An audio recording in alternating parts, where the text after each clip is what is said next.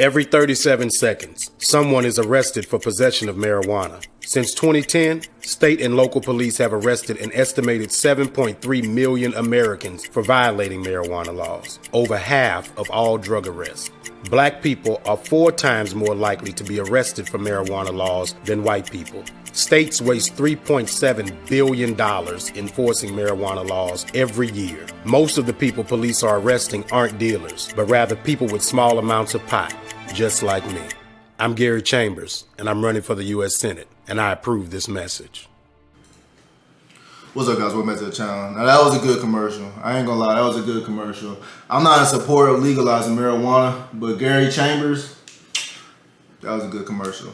But here's the thing, guys. There's a lot of people, surprisingly, who's in support of legalizing marijuana because they believe there's a lot of positive impacts medically um, and judicially uh, to why they should legalize marijuana. Me personally, I'm not in favor for it because I believe that if you legalize marijuana, it's just going to be another drug or something, right? Uh, that they're going to want to legalize next. Now, um, I think Gary Chambers mentioned two times in his commercial that I just showed you guys uh, that people are getting arrested. Police are arresting people for using marijuana, right? But he's not telling you people are dealing marijuana.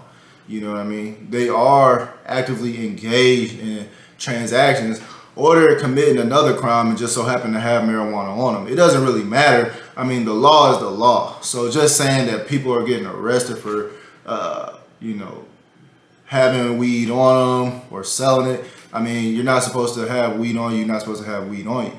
My thing is if they legalize marijuana, right? I mean, are you really to, so what, what would be the stipulations on that? Are you, are you going to see people walking down the street, sitting by the bus stop, smoking marijuana? Are people going to be getting high, driving, smoking marijuana? You know what I mean? It, what about when these people get released from prison, right, for selling drugs or whatever? You know, what if they go back to doing that? What's to stop them? You know what I mean? Is, it going to have the same stipulations as when you're selling loose cigarettes? I mean, both both uh, infractions result in an interaction with a police officer. So it's my belief that it shouldn't be just the sole argument that, um, you know, if you legalize marijuana, you, you reduce the amount of people who go to prison for breaking the law when it comes to marijuana. You know, if you don't change those behaviors, those behaviors of I'm going to do what I want to do instead of following the law, right? Those people are going to still end up back in jail. They're still going to end up back in prison, right? Um, so I think that the argument is deeper than just saying, oh, we need to legalize marijuana um, to, to make it fair for everybody else. My thing is, guys, it's illegal for a reason. I mean, no different than alcohol, right? When you're getting drunk, you're not yourself. I think when you're getting high, you're not yourself. Um, and more importantly, guys, in this, and I know some of you guys don't believe it's coming, but in this rapidly progressive culture that is taking over America right now, everything is getting more progressive. So we legalize marijuana. What's the next step? Cocaine, meth, heroin.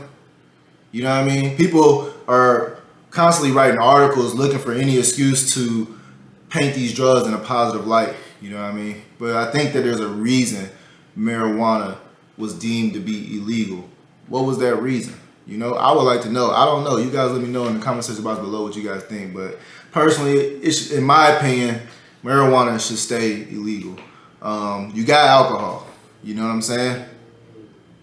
Be happy with that. A lot of these guys who are supporting marijuana or trying to claim these medicinal facts about marijuana is because they enjoy marijuana recreationally.